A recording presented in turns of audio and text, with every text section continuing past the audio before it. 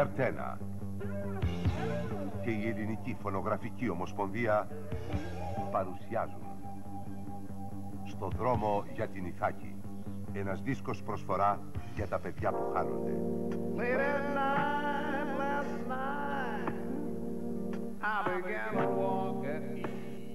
Στο δρόμο για την Ιθάκη με τη μουσική του Γιώργου Σωτηρόπουλου και συνταρακτικά ντοκουμέντα από την τηλεοπτική σειρά της Αρτένα «Ναρκωτικά».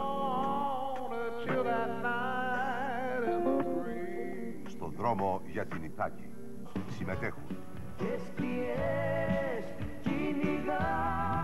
Αντώνης Βαρδής. 2002 GR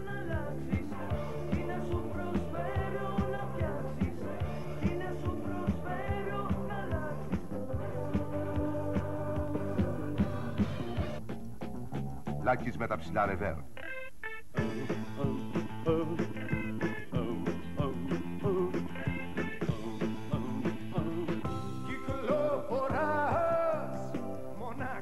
Βασίλης Παπακοσταντίνου. Ο κόσμος όλος χιλιά κυβικά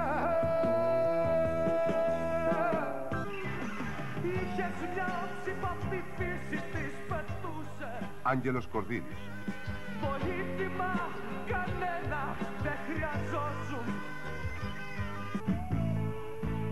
Εγώ είμαι ο μόνος που δεν φταίει Κώστας Τουρνάς.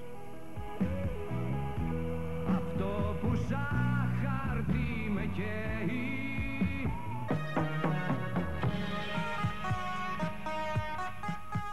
Στο δρόμο για την Ιθάκη.